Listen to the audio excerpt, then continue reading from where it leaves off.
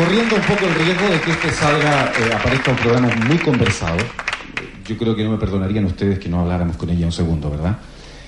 ¿Tu nombre es? ¿Y por qué pones esa cara como diciendo, no?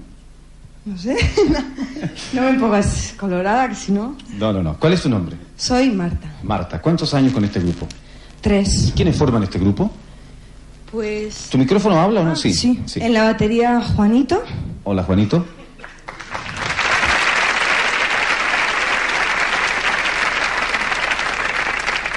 En el bajo Emilio, ¿Qué tal, Emilio? y en los teclados Marcelo. Marcelo. Tienes tres guardianes, veo, ¿ah? Sí, me cuidan mucho. Me imagino. ¿Lo hacen bien, muchachos? Sí. Se hace lo que se puede. Marta, ¿es esta tu primera visita a Sudamérica?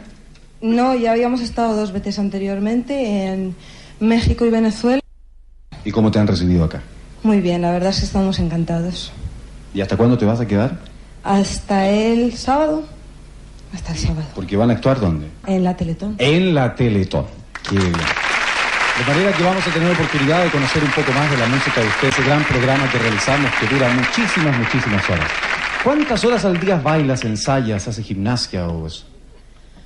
Pues cuando me pongo a prepararme un poco físicamente para las galas, ¿las galas se dice aquí? Bueno, sí. El directo, se dice galas.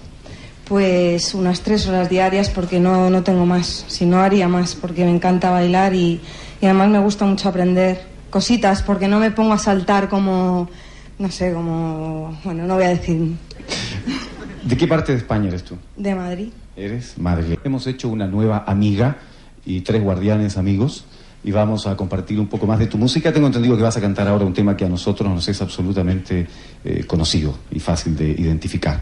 Y te esperamos entonces el viernes y sábado en lo del Atletón. ¿Ok? Vale. Que tengas una buena estada aquí en Chile entre nosotros. Gracias. Chao.